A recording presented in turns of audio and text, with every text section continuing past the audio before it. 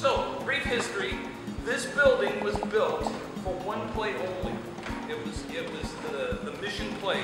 Those of you who saw, and I saw somebody taking a picture of him up in the lobby, a bronze bust right in the middle, that's John Stephen McGroarty.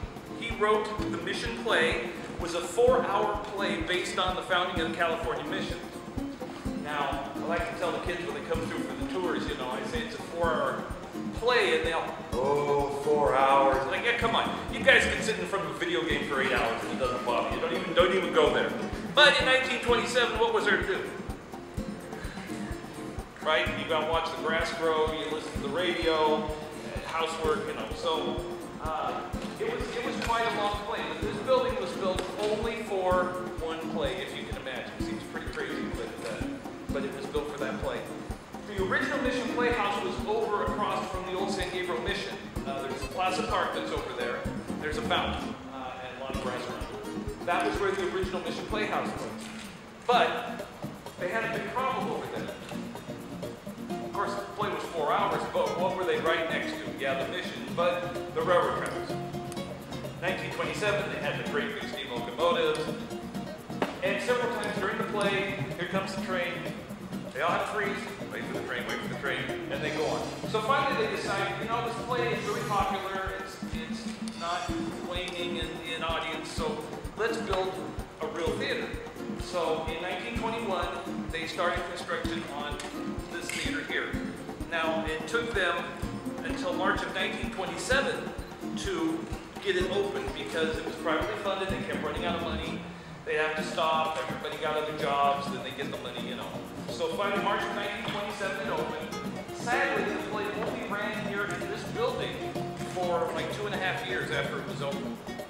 Uh, and then it was, it was just basically shut down and vacant. In 1945, it was set to be demolished.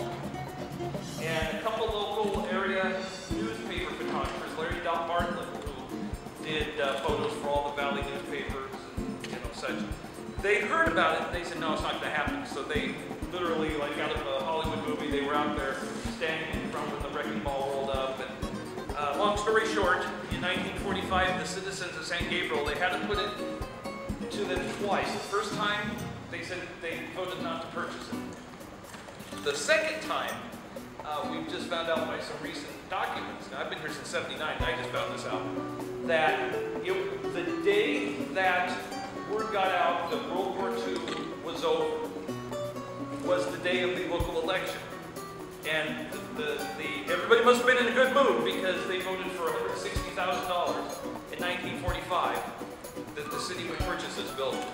So we kind of lucked out. You know, the ending of World War II was a good thing, but it also, I think, worked out really well for us here because they probably said no a second time because, you know, it was war and everybody was grumpy. So the city has owned and operated the building since 1945. It is decorated in what is called the, the uh, Urban California Mission style. It Has uh, elements of Navajo, Incan, Mayan, uh, and made up. There's some stuff up there that is, is really just up there because it's free. Uh, in, in 1995, after several earthquakes, the 87, 89, we had the whole ceiling restored. And Evan Wilson, the gentleman that did it, uh, I asked him, I said, okay, so are these really Navajo, Incan, Mayan symbols? He said, some of them are, but some are just for fun. He called me up one day, he said, come here, I gotta show you something, come here. And I gotta find him again because I've lost track of him, but up under the balcony, he pointed, there's fleur-de-lis. You know, the French fleur-de-lis are up under, yeah, Maybe that was an, an old Indian symbol at one time, I don't know. The tapestries on the side were given to the building by the king of Spain, King Alfonso, at the time of its opening. They're bronze, silver, uh, brass, thread woven into bowl. They've been up there ever since. They've not been taken down. They have been cleaned in place. The lights on the side are uh, uh, reproductions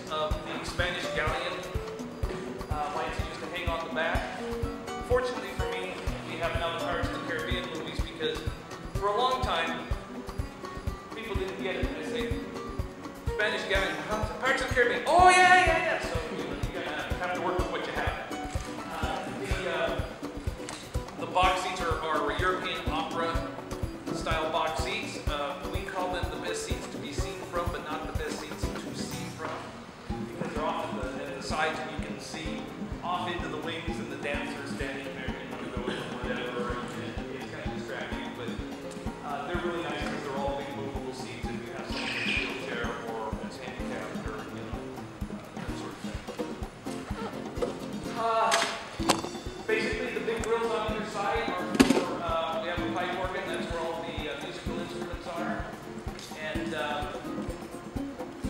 much, anybody have any questions? And have anything that you see up there? Yes, some of you will see, they're up there somewhere, there's one right there. Uh, is there is a reverse swastika. Don't everybody get all, all nuts about it. If you see the center window in the in the spot booth, and then the little window which is our projection, right? Keep going up. There's the first beam. Come towards the second beam. Right in the middle of that second beam is is uh, uh, I believe reversed and, and not on an angle swastika. And I get I get the school kids all the time. They see that. Oh, yeah. Well, it was an Indian symbol before it was. You know, Hitler decided it was cool. Uh, you'll notice there are soldiers here with helmets on. There's two here, and then there's two down here. Does everybody see them? Okay. Originally, before Evan repainted the ceiling, they were they looked the same. They were the same guy, just staring at each other. Well, Evan decided that they should be somebody. So basically, this guy here is P. Michael Paules, our recently retired city manager. This guy over here is Bill Shaw, our recently retired theater manager. And down here, this uh, this guy over here is John Stephen McGroarty out in the lobby. And of course, last but not least, that's Evan, the guy that painted the ceiling.